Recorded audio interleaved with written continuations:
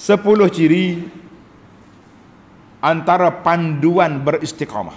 Ha, tulis panduan beristiqamah. Ini termasuk dalam faedah lah tapi faedah umum dulu. Ha. Faedah tanpa nombor. Dipanggil muqaddimah kepada faedah. Yang pertama panduan beristiqamah. Sepanjang hidup kita ni tak kira lah lepas lepas Ramadan ke lepas haji ke lepas mana ke. Yang pertama berpegang kepada akidah yang benar.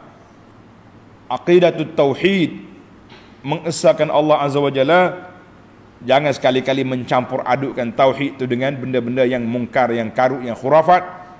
Apalagi kalau yang syirik. Naudzubillah. Maka kita kena jauhi syirik khurafat dan perkara yang tidak baik. Ah buang semua. Yang kedua beriltizam dengan solat berjamaah mana solat tu kena maya tapi bukan sokat solat saja, berjamaah. Ha, baru kita nampak istiqamah. Eh dia tu eh. Pak Haji tu setakat balik Mekah ni, Masya Allah. Ha, setakat lepas Ramadan ni, nampak di masjid. Uh, tak miss tu. Ha, jadi, nampak zahir. Kita bukan nak suruh orang puji. Tapi kita nak beriltizam, beristiqamah. Ha, beriltizam atau dipanggil beristiqamah.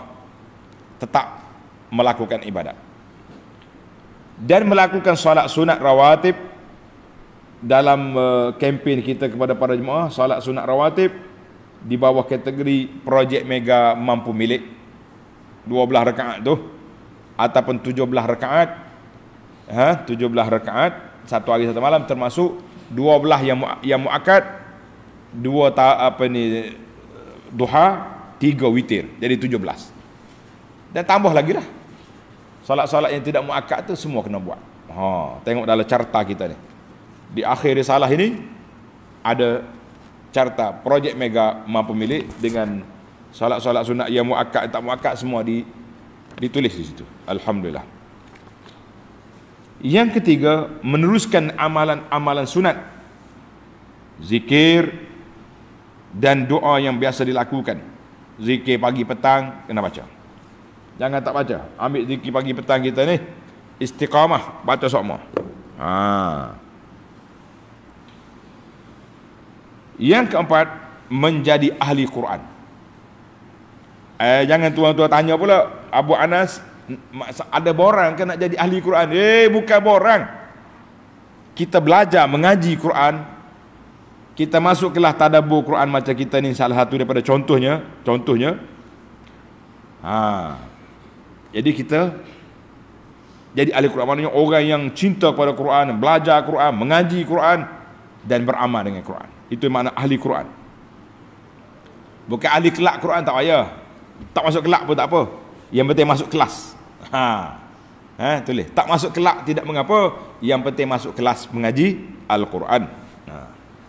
Kelas tadabbur Quran. Yang kelima cintakan ilmu dengan beristiqamah menghadiri majlis ilmu dan dakwah. Ha, kita beli kitab mengaji sungguh-sungguh. Jangan kita main pasal telinga ya. Sekarang ni banyak membawa telinga daripada membawa kitab. Uh, gila majlis mana pun. Selagi ada tiang di situ ada orang. Ya, mana kalau wujud masjid besar wujud ada manusia di situ. Tengok dia dengar ceramah. Allahu akbar. Yang keenam, lazimilah pakaian takwa menutup aurat dan patuh syariah.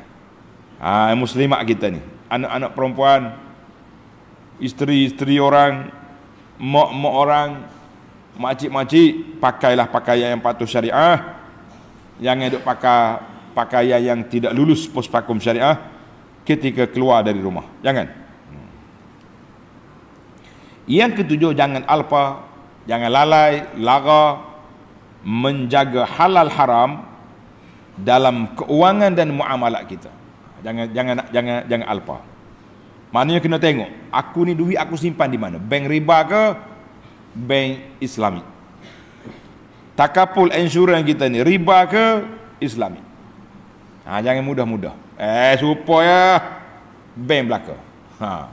Baru ni saya ada seorang pengempin insurans Bila anak tanya dia awak awak jual ni halal ke haram ni? Huh mengamuk dia. Allah marah dalam telefon. Muja dalam telefon. Eh kalau duduk depan katanya pekor dengan kasut. Tak. Lekak dahi kita. Ha, jangan main. Tak mau dia. Orang tegur marah. Eh main-main manusia ni. Yang ke 8 lakukanlah puasa sunat. 6 hari Syawal awal Zulhijjah ni puasa hari Arafah khasnya puasa hari Ashura Isni Khamis tiga hari sebulan buat. Alhamdulillah. Yang ke sembilan bersahabatlah dengan orang soleh. Bersahabat dengan siapa? dengan orang baik-baik. Mau kita jadi orang baik sahabat kaki lara lara kita. Ah.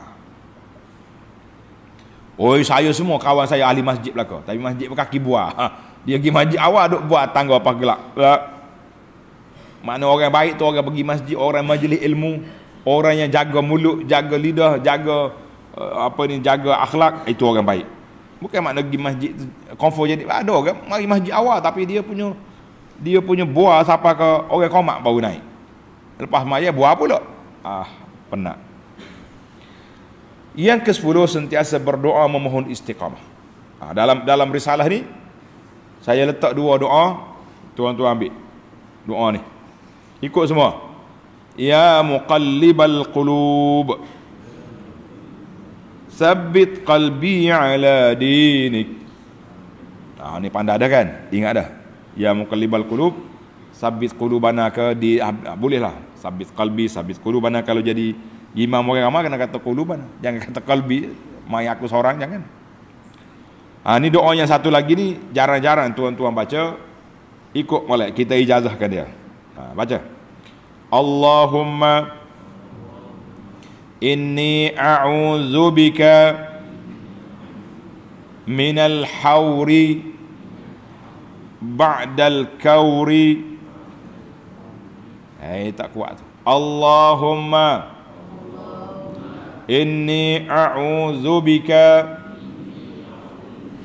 min al-hawri ba'da al-kawri Ingat dia.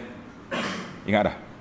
Ha, kata Allahumma ya Allah ya Tuhanku inni a'udzubika aku minta perlindunganmu ya Allah minal hauri ba'dal kaur daripada berpaling meninggalkan kebaikan setelah aku dapat kebaikan. Lo ni kita istiqamah. Ngaji, semaya Jumaat, molek-molek. Tiba-tiba malah dah duduk pondok nak duduk kapur balik kapur Eh tak kenal masjid lah. Balik kampung menjadi pendokong. Ha, pelopor kepada orang lain yang tak pergi masjid. Baru betul. Tilka asyaratun kamilah. Demikianlah sepuluh cara-cara untuk beristiqamah insya-Allah tuan-tuan dapatkan risalah ini.